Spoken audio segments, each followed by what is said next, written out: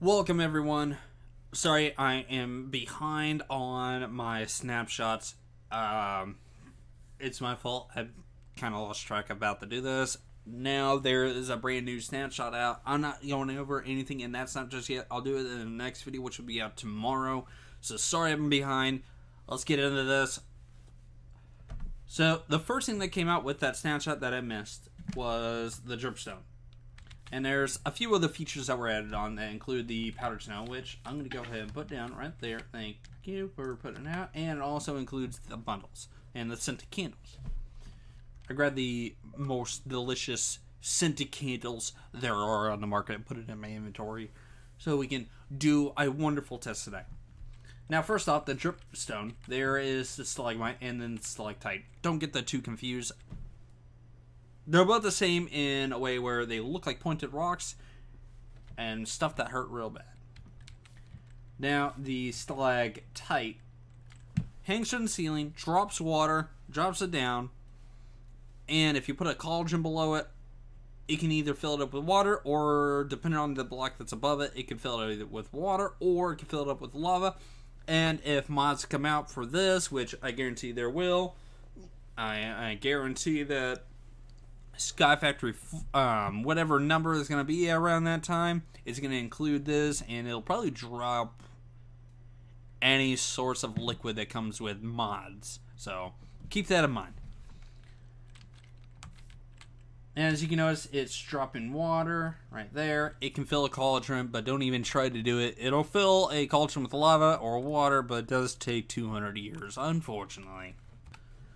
Now, useful feature with this is you can have this set up as a mob grinder. Now, mobs can fall on top of it; they don't die instantly. So that's where I guess lava is also going to come in. They can fall down, take way more damage, depending on how high it is. You take more damage depending on how you are, how high you are from this, or that up there. And depending on how long it is from the top one, depends on how much damage you're gonna take. If it come if it's uh only one long, it'll kill you instantly. If it's too long, it'll probably still kill you.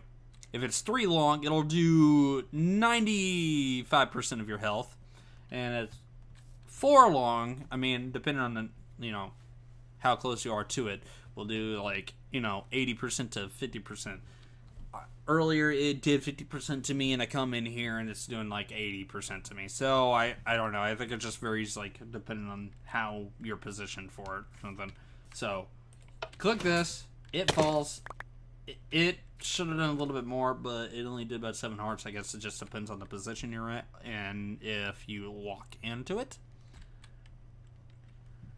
So that's one thing you can come out of it. You can use it to kill mobs that come near you, use it as a way to crush mobs that, you know, are entering your territory, have it set as a redstone, going out to like your front lawn, mobs walk in, which comes into play with the wireless redstone object that I'm going to show off in the next video. Now, the next part of the features will include powder snow. And powdered snow, I got to go in and create it real quick. All right, now the next feature, powdered snow. Here's a interesting thing about powdered snow. They added in the freezing effect, and it will slowly kill you over time. I've already tested out how long it takes. It is it takes a quite a while, but it will freeze you. It will kill you unless you put some armor on. But there's a specific type of armor you have to have on. Now you could throw on iron armor. You're still you're still freezing. Chainmail armor, still freezing.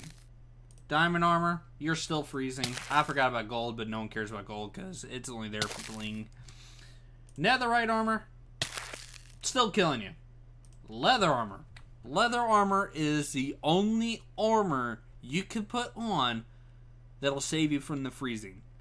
I guarantee that the update, whenever they fully release it, will include a bit more into like if you have full set of armor, they might change it up a bit towards like, you know, you got fur armor, you know, you get the leather armor.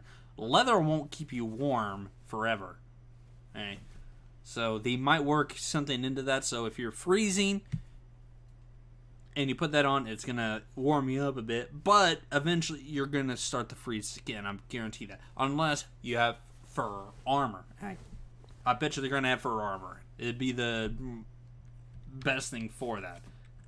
Just to be realistic. They're trying to be realistic with some of this stuff. So yeah. Now the next thing I want to show is the bundles. Now the bundles they changed it up a little bit where you get to see the interior of it, and it's still the same. Uh, anything that is considered as a stack, like ender pearl, snowballs, or a stack of cobblestone, anything that is gonna fill up the square, say like you know, sixty-four torches, sixty-four dirt, sixty-four cobblestone, or sixteen ender pearls or sixteen snowballs, still gonna fill the thing up. But as you can see, if I pick it up, click that, 64 candles. You right click it, you take everything out. Now do this, I right click it, it throws everything in there. Take this, right click, throw that in there. And if you want to take stuff out, it only takes out the last thing you put in. The great part is now it only takes out one item if you're wanting to take out one item. Unfortunately, though, it doesn't allow you to choose what item to take out. They probably will change that in the future, though right now i think they're just you know working and it's like okay you know this that. Yeah spyglass. Last i checked they did something with it. I don't think i showed it off in, in a video. It could have been before you know the last snapshot but they it was a circle. Now it's a square. It's literally minecraft now. Previously it was a circle and circles don't exist in minecraft so they changed it up to be a square and that concludes the snapshot that came out with the dripstone. So far, that's all the features that I saw that were added in. I mean, I think there was one other feature. I just don't remember what it was. I don't remember what video I watched that had that extra feature in there, but yeah. So with that, thank you guys again for watching. Please hit that subscribe button. I know people are coming over here. I know you're watching. Just hit the button. If you don't want to come back to watch the video again, I, I really don't care. I want to help people out, so I want to donate money. And the money I make from YouTube, I'm going to donate to, you know, charity. I am. I'm not going to use it for myself. I don't need it. I really don't.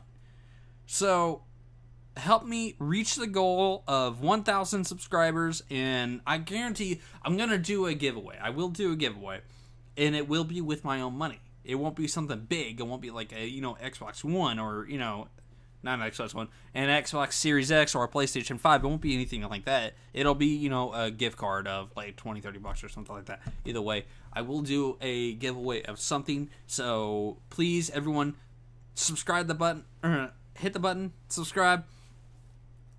If you don't want to come back and watch, that's fine. Just hit the subscribe button. It helps out the channel. It really, really does. Because in order to start working on the channel a little bit more. I have to get up to 1,000 subscribers and 4,000 video hours watched in a single year. So, yep. Thank you guys again for watching. Have a good day, good evening, good night, good morning, wherever you're in the world. I'm going to release a video the next day with the next part of Snapshot, which will be the. Lost my thought. Well, there will be a video, so keep in mind that. Um, I'll see you guys later, I guess. Peace.